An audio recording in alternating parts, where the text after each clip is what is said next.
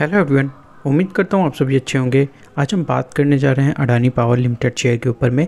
Last trading session में हमें लगभग तीन परसेंट की यहाँ पे तेज़ी देखने को मिली थी और स्टॉक हमें five hundred thirty two rupees के करीब में क्लोज होता हुआ देखने को मिला। और अगर लास्ट फाइव डेज़ के रिटर्न की बात करें तो लगभग हमें डेढ़ परसेंट के पॉजिटिव रिटर्न देखने को मिले हैं और लास्ट वन मंथ में स्टॉक हमें चार परसेंट की गिरावट दिखा चुका है और लास्ट सिक्स मंथ में लगभग फोर्टी फाइव परसेंट की तेज़ी देखने को मिली है इस स्टॉक में। और हाल ही के दिनों में हमें निफ्टी और स्मॉल कैप और मिड कैप के सभी के हमें इंडेक्स में गिरावट देखने को मिली थी जिस वजह से लगभग मोस्टली स्टॉक्स में हमें गिरावट देखने को मिली थी। वीकनेस जो होने वाली है स्टॉक में, अगर स्टॉक फोर हंड्रेड के नीचे फिसलता है तो फिर स्टॉक में हमें वीकनेस देखने को मिलेगी। तो इस तरीके से यहाँ पे आप अडानी पावर में काम कर सकते हैं। तो स्टॉक में सपोर्ट निकल के आते हुए देखने को मिल रहे हैं। वो हमें अगर आप देखोगे तो ये ग्रीन वाली लाइन जो है, ये हंड्रेड डेज़ का एक्सपोनेंशियल है। स्टॉक में इंपॉर्टेंट जो लेवल है फाइव हंड्रेड रुपीज़ का लेवल स्टॉक में एक इंपॉर्टेंट और मेजर सपोर्ट का रोल प्ले करेगा। अगर यहाँ पे स्टॉक फाइव हंड्रेड रुपीज़ के नीचे आता है और स्टॉक अगर फोर हंड्रेड नाइन्टी रुपीज़ के नीचे क्लोजिंग देता है। स्टॉक हमें बेरिश होता हुआ देखने को मिलेगा। तो स्टॉक में जो इंपॉर्टेंट लेवल है फाइव हंड्रेड रुपीज़ का लेवल यहाँ पे स्टॉक में सपोर्ट की तरह एक्ट कर सकता है।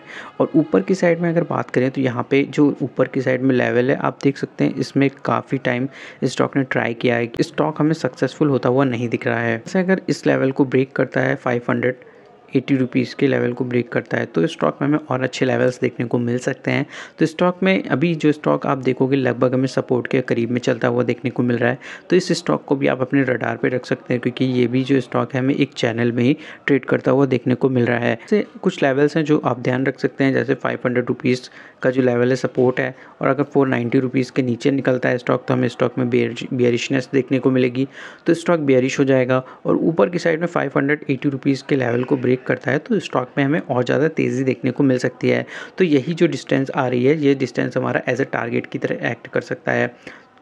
तो यहाँ पे हमें लगभग ट्वेंटी परसेंट का ये जो डिस्टेंस है, वो हमें देखने को मिल मिल रहा है। तो यहाँ से अगर ब्रेकआउट होता है तो यहाँ से ब्रेकआउट के बाद में हमें स्टॉक में यही ट्वेंटी परसेंट की जो डिस्टेंस है, हमें एज अ टारगेट भी देखने को मिल सकती है। तो यहाँ पे लगभग आप देख सकते हैं सेवन हंड्रेड रुपीज़ के टारगेट हमें देखने को मिल सकते हैं। अगर stock five hundred eighty rupees का लेवल निकालता है और उसके बाद एक सिक्स हंड्रेड रुपीज़ का जो लेवल रहेगा, एक साइकोलॉजिकल लेवल रहेगा।